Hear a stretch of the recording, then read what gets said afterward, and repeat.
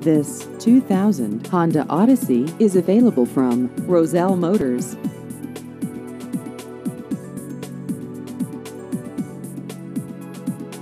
This vehicle has just over 187,000 miles.